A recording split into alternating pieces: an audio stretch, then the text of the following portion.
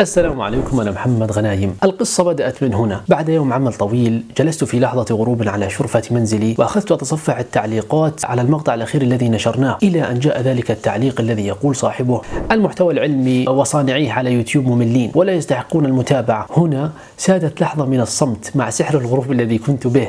جعلتني أدرك الحقيقة المرة ووجدت نفسي أتفق مع صاحب ذلك التعليق فيما قاله. نعم هم لا يستحقون المتابعة. لذلك سأخبركم رأيي بصناع المحتوى العلمي أو التثقيفي وسأخبركم عن ما لا يعجبني بهم بكل صراحة وأتمنى ألا يعدلوا ما بهم. أول شخص اسمه يوسف. يمتلك قناة اسمها مساحة. طبعا هذا الشخص صديق من مدة طويلة ولكن يوجد به الكثير من الأمور التي لا بد من انتقادها صراحة. هذا الشخص مهتم بالعلوم والفيزياء والفلك كما يقول في وصف قناته. وهذا أول أمر لا يعجبنا يعني من يهتم بتثقيف نفسه هذه الأيام؟ ثم يكمل في وصفه. يقول ببساطة مساحة تعتبر ثاني أكسيد الترفيه. يقصد أنه يعني يحاول مزج العلم مع الترفيه حتى يسهل استيعابه. وهذا أمر صراحة ننقده أيضا. يعني بهذه الطريقة نستوعب الأمور بشكل سريع. ثم تنظر في قناته فتصدم. هي حقيقة يعني تخيل أن هذا الشخص لا ينشر في قناته مقاطع بها أمور تافهة أو تحديات مزعجة أو أسرار بيته.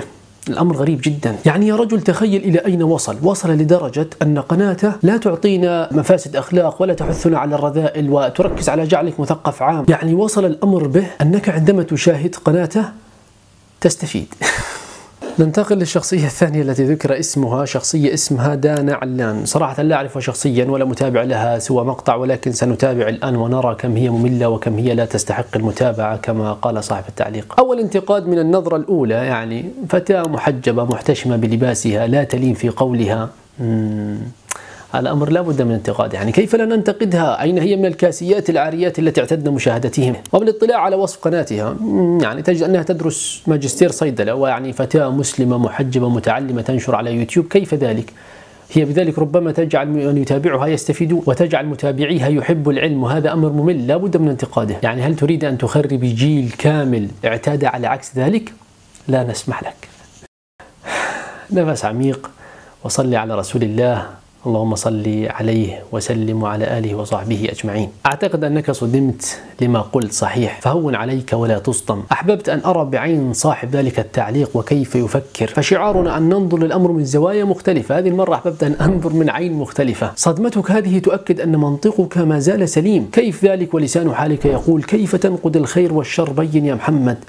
ولكن مع الأسف يوجد الكثير لا يملكون هذا التمييز الذي لديك. والدليل في تعليق ذلك الشخص وفحواه وأن القنوات العلمية مملة ولا تستحق المتابعة. بعيدا عن انعكاس المفاهيم التي أصبحت واقعا في حياتنا النقد الذي قلته في ال YouTubers طبعا عكس ذلك تماما وقد أخذت الإذن منهم بالفعل قبل تصوير هذه الحلقة. ذكر ذلك التعليق عدة أسماء منهم من عرفته ومنهم من نلت شرف التعرف عليه ومنهم من أضفته لكم. سارة نوح ثائر دروس أونلاين باب المعرفة كريم إسماعيل عمر آل عوضة سلمى حمادو معتز مشعل. ضيبة وارشة أمين يحيى خالد النجار أندرويد باشا يحيى رضوان وشخصيات كثيرة كلها غير مملة وتستحق المتابعة. عندما كنت في الجامعة كان لدينا محاضرات في العادة تبدأ وقت صلاة الجمعة. وكان الطلاب في العادة يتأخرون عن المحاضرات قليلا بسبب الصلاة وكان الأساتذة لا يدققون كثيرا في يوم الجمعة بالتحديد. وعلى الرغم من ذلك كنا نتعمد ألا نتأخر. يعني يوجد مصلى في الجامعة نفسها وفور التسليم نخرج مسرعين حتى نلحق بالمحاضرة. فالعلم عبادة أيضا. في مرة دخلت وكانت الأستاذة أو المحاضرة امرأة في الستين من عمرها علمانية بحت فلم تسمح لي بالدخول فاعتذرت منها بكل احترام وأدب وطلبت طلبت منها أن تسمح لي هذه المرة واعتذاري عن التأخر وليس عن الصلاة طبعا. فانفعلت وقالت لا يهمني المحاضرة وقت يجب الالتزام به وعلى معدي برنامج المحاضرات أن يجدوا حل لمشكلة التأخر بسبب الصلاة وليس أنا. فخرجت يومها ولما خرجت وجدت مجموعة من الشباب والفتيات يعني حالهم كحالي قد منعوا من الدخول بسبب الصلاة. ولما انتهت المحاضرة ذهبنا لمكتبها مع بقية الزملاء نطلب منها أن تسجلنا حضور يعني. ونحن سندرس المحاضرة من بقية زملائنا الذين حضروا فرفضت بغضب. وقالت هذه كلية طب وليست كلية شريعة يجب عليكم تعلم الالتزام حتى تصبحوا أطباء. حينها انفعلت وقلت سجلين غياب لا مشكلة. وفي خروجي كنت أتمتم بصوت خافت يعني الالتزام يكون مع الله قبل أن يكون معك. فسمعت الأستاذة ما قلت مع أنني كنت أتمتم يعني صراحة لم أكن أريدها أن تسمعني. فنادتني توقف. ولكن أين أتوقف؟ يعني صراحة الأستاذة بتخوف. فجعلت نفسي لم أسمع وكنت أغادر بين المشي والهرولة. ولم تستطع إيقافي فقالت لزملاء من خلفي هذا الطالب بالذات محروم من مادتي. ثم سألت الطلاب عن اسمي حتى تعرف من أنا.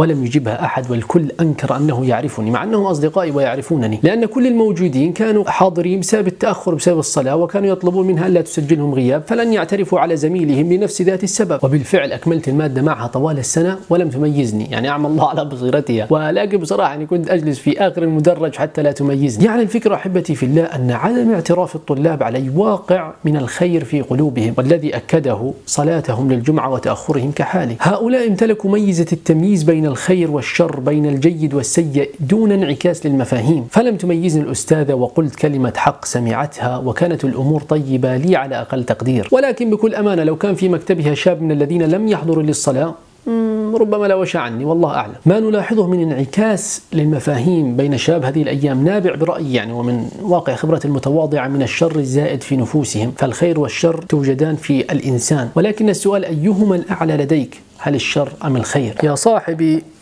الحياة اختلاف ولن يكون هناك لون واحد وإلا لما رأينا الجمال. واليوتيوب كذلك اختلاف ألوان به الخير وبه الشر به الجيد وبه السيء.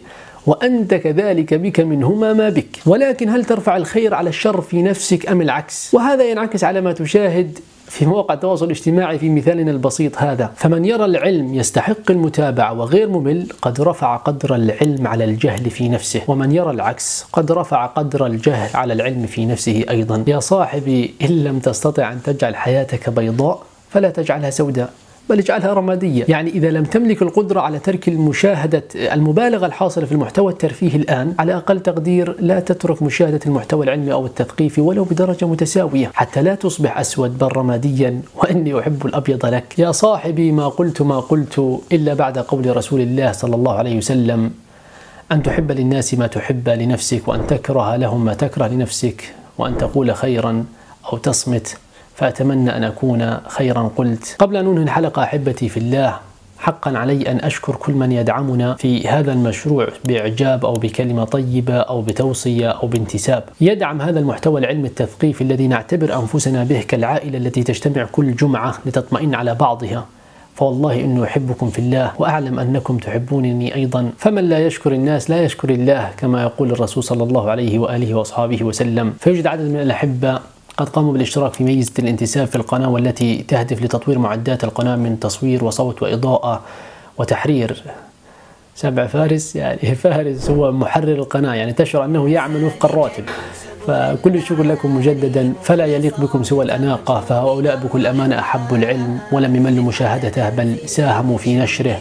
فأسأل الله عز وجل أن يكتب لنا ولكم الأجر ودمتم في أمان الله.